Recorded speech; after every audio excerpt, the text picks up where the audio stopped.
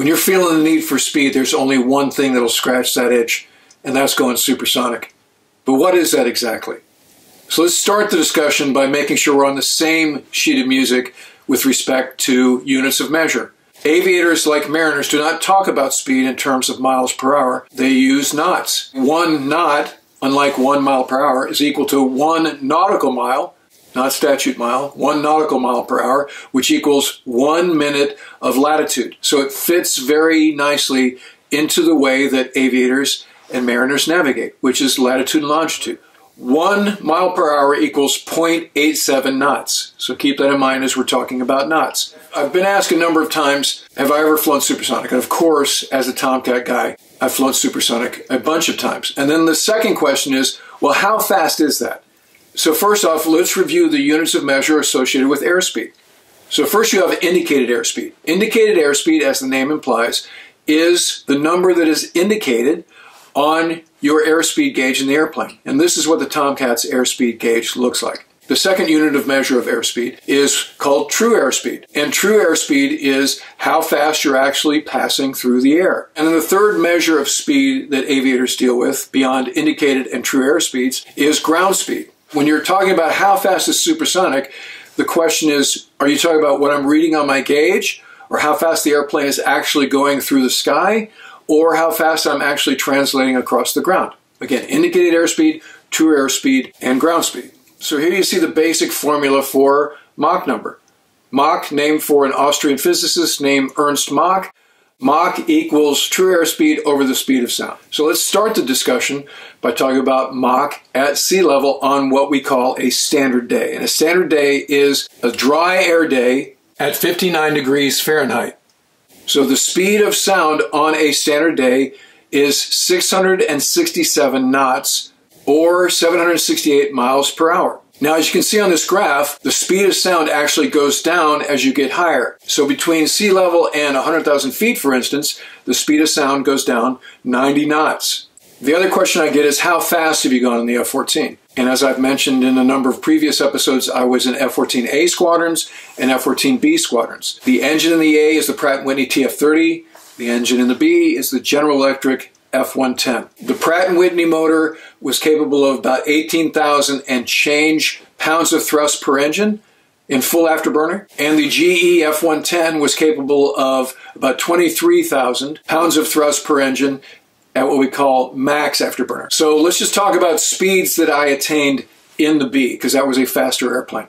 At sea level, I've gone upwards of 1.2, 1.3 indicated Mach number. At altitude, which is to say 40,000 to 50,000 feet, I've gone upwards of 1.6 to 1.8 indicated Mach number. And then a natural follow up question to that is well, is that the fastest military jet there is? And the answer is no. So let's take a look at a ranking of some of the jets here. Sukhoi 27 is capable of Mach 2.35. Then we have the F 111, which actually has the TF 30 as well, but theirs actually fits in the airplane and was designed for use with the F 111, which is capable of top speed of Mach 2.5. Then we have the Eagle, which is capable of Mach 2.5, so the same speed as the Aardvark. Then we have the MiG-31 Foxhound, which is capable of top speed of Mach 2.83. And finally, the fastest military jet of all, the MiG-25, which is capable of Mach 3.2. So if you say Mach 2.5 or Mach 3.2, what does that mean in terms of knots or miles per hour? So you can see that the calibrated airspeed, which is more or less the indicated airspeed, and the true airspeed are pretty close at sea level. So in this case, Mach 2.5 at sea level is 1,652 knots. What happens to those numbers as we increase altitude? Let's say we climb up to 50,000 feet.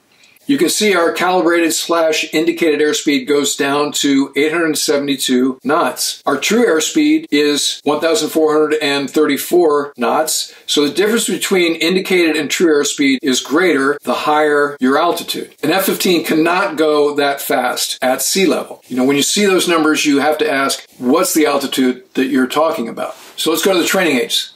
Let's talk about how we would use supersonic flight in a real intercept slash engagement. So generally during tactical intercepts, we'd be flying around at 350, 400 knots. So the fuel flow at, at that airspeed at say 25,000 feet would be 4,000, 4,500 max pounds per hour. So that's 9,000 pounds per hour in a jet that can hold 16,200 pounds without tanks and 20,000 pounds with tanks. Now, as soon as you go into afterburner, now you're consuming gas at a rate of 4,000 or 5,000 pounds per minute. You will run out of gas fast. You have to be very judicious about your use of afterburner. Also, when you're going supersonic, the airplane does not turn very well. So if you're planning on shooting somebody down in the visual arena, you can't be going supersonic. Now, when the time comes to bug out, now light the burners, unweight to half a G, and head downhill and get going. And by the time we get to 15,000 feet,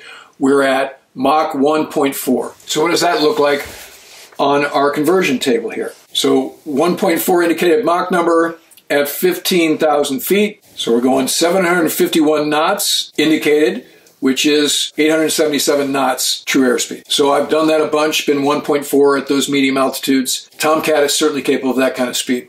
The other question I get asked is what does it feel like when you go supersonic? You remember the right stuff where Sam Shepard playing Chuck Yeager sees these colors through his windscreen as he goes supersonic for the first time. I hate to say that's not how it is in real life. At altitude, you can't really tell at all that you've gone supersonic except by looking at your indicated airspeed that shows that you're above Mach 1. Depending on the atmospheric conditions, sometimes the shock wave would pass over the canopy going aft as you went supersonic, and then as you decelerated, it would come back forward as you were transonic to subsonic. Beyond that, there really were no violent forces acting on the airplane as you went supersonic. But going supersonic at altitude is not a spectator sport. That's where air power demos at the ship come in. So it's illegal to go supersonic over populated areas because you'll break windows and wreak havoc. There are some supersonic operating areas at Fallon and other places, but you got to be up at high altitude, and depending on the atmospherics, that altitude will vary. But when you're on an aircraft carrier at sea and you do what's called an air power demo, you can drop live ordnance and you can also go supersonic. That's where you can really scratch the itch that comes with the need for speed. So as an airplane goes supersonic, it's pushing air out of the way, creating a shock wave. And that shock wave is what makes the sonic boom. So that noise gets louder or softer based on the size of the airplane. So a Hornet sonic boom is relatively quiet compared to a Tomcat sonic boom.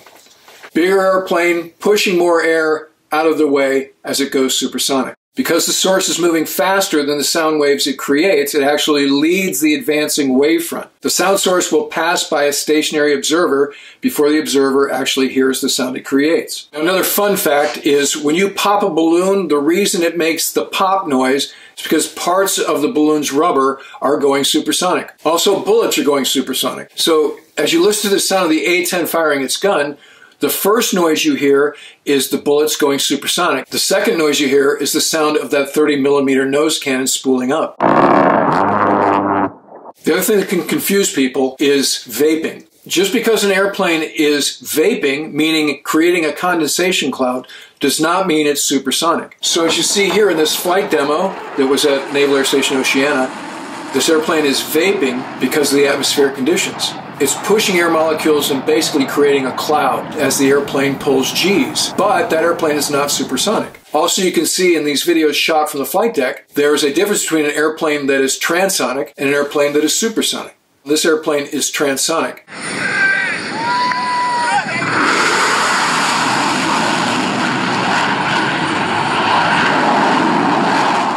This airplane is supersonic.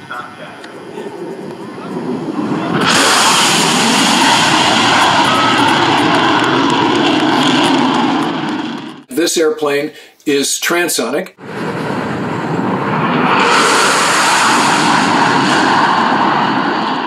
And this one is supersonic.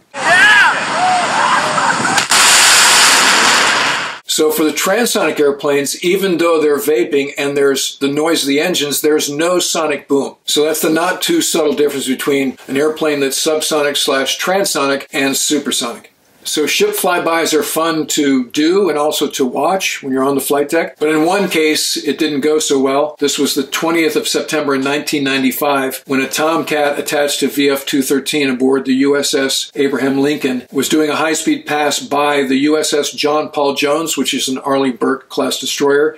As they flew by supersonic and pulled into the vertical, their TF-30 came apart. Fortunately, they were able to eject and they were picked up by the John Paul Jones. So scary stuff, but the guys made it. So the best flyby I ever saw was when I was the Air Wing Operations Officer aboard the USS George Washington. So we were operating in the Mediterranean Sea, hosting a Japanese diplomat, and as a function of that, we did an air power demo. So one part of the demo is an F-14 supersonic pass. And the Air Wing F-14 squadron was VF-102, the Diamondbacks, that flew the F-14B. So my role as the Air Wing Operations Officer was to narrate the show up in the tower, talking over the flight deck PA system known as the 5MC. So we go through all the different parts of the air power demo. It involves all the airplanes in the wing, and we get to the grand finale, which is the F-14 high-speed pass. Now the pilot for the high-speed pass was a pretty mild-mannered first tour lieutenant and so before he had manned up, I had sort of gone sidebar with him and said, okay, for this one, we need to raise your game a little bit. So his part of the show started with a call at two miles to make sure he was deconflicted from what had happened right before him. So I hear two miles. Again, I'm up in the tower. I look out across the horizon where I expect to see him, and I don't see him. And then I transition my scan lower, and he is down on the water and he is absolutely hauling ass. Also, he's very close to the ship. So he rages by below flight deck level, very close to the ship, and the boom was super loud. So I look down at the Japanese diplomat, and he gives a fist pump. So the Tomcat disappears past the horizon. The phone up in the tower, which is known as Pri-Fly, starts ringing. It's the ship's engineers and they're telling the Air Boss that the shock wave has damaged some of the ducting below the flight deck. So the next day we have a meeting with the Admiral in Flag Ops, and the captain of the George Washington, who is an F-14 guy, brings his chief engineer, and the chief engineer has a drawing that he made, and on it he shows that as a function of how low the F-14 was, the shock wave bounced off the water and hit the ship from low to high, and that's what damaged the duct. So I was across the table from the captain and I said, I'll tell you what, sir, I hope the Russians don't find out about this. Apparently they could take out the ship without dropping a single bomb. All they have to do is fly by supersonic a few times. And the captain gave me one of those looks that indicated he didn't think that was terribly funny. But in any case, that was the best flyby I ever saw. All right, that's going to do it for this episode. If you're a first time viewer, please ring the bell and become a subscriber. Give me the likes and comment. Check the links below for merch, including where to get the Punks Trilogy, my first three novels that were just reissued by the Naval Institute Press. When you check out, use the discount code PUNKYT for 25% off. If you'd like to help support the channel, please consider using the super thanks, the heart icon below, or become a patron at patreon.com slash wardcarroll. And in the meantime, I look forward to talking to you again soon.